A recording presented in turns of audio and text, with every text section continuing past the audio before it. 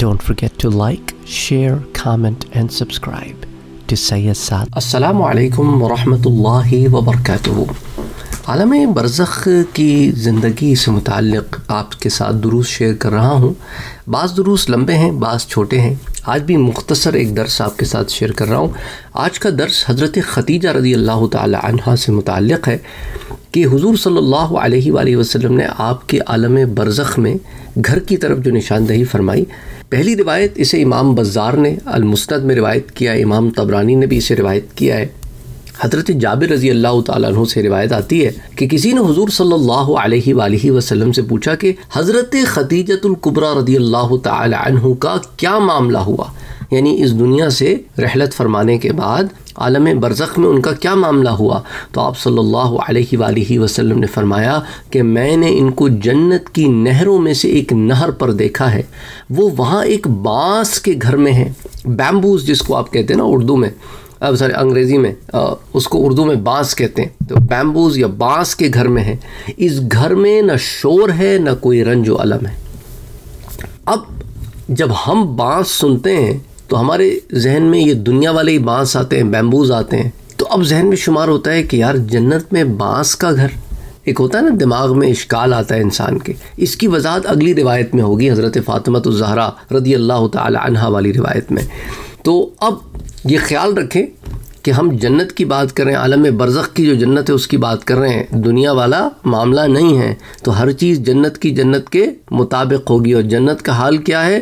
کہ نہ اس چیز کے بارے میں کسی ذہن میں کوئی فہم ہے، نہ کسی آنکھ نے اس کو دیکھا، نہ کسی کان نے اس کے بارے میں سنا۔ حضرت فاطمہ رضی اللہ تعالی عنہ نے حضور صلی اللہ علیہ وآلہ وسلم سے سوال پوچھا کہ میری اماں ختیجہ رضی اللہ تعالی عنہ وفات کے بعد کہاں ہیں؟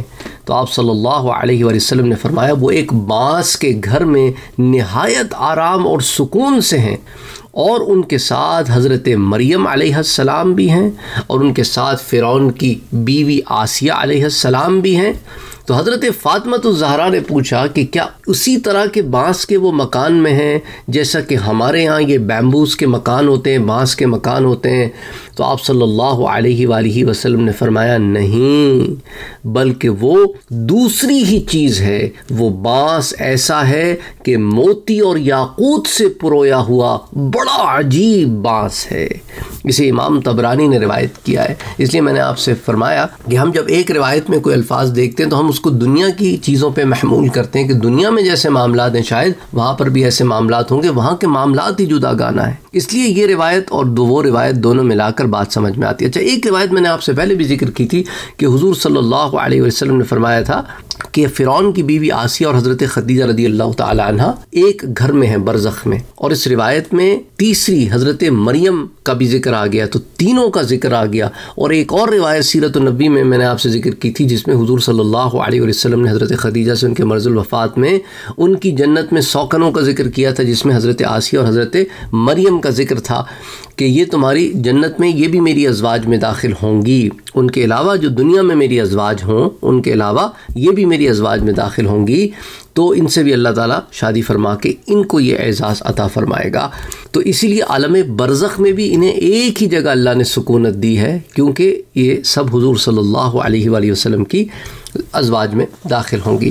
حضرت مریم اور حضرت عاصیہ، حضرت ختیجہ اور جو دیگر ازواج جن کی حضور صلی اللہ علیہ وسلم سے یہاں شادی ہوئی، جو مہات المومنین ہے تو سوال ایک بھائی نے پوچھا تھا کہ حضرت مریم سے حضور کی شادی کیسے ہو سکتی ہے؟ جبکہ حضور نے حضرت عیسیٰ علیہ السلام کو اپنا بھائی کہا۔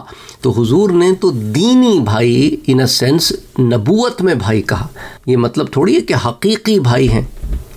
کہ حضور صلی اللہ علیہ وسلم نے تمام انبیاء بھائی ہیں نا، کیونکہ they have the same mission اب اس کی مثال ایسی ہے، مثال کے لیے کہہ رہا ہوں کہ ایک شخص اگر اپنے ایک دوست کو کہتا ہے کہ بھائی، یہ میرا بھائی ہے یعنی اتنا قریبی دوست ہے کہ میرا بھائی ہے، اس کا یہ مطلب تھوڑی ہوتا ہے کہ اب اس دوست کی بہن اس پر حرام ہو گئی، اس بہن سے کبھی شادی نہیں ہو سکتی۔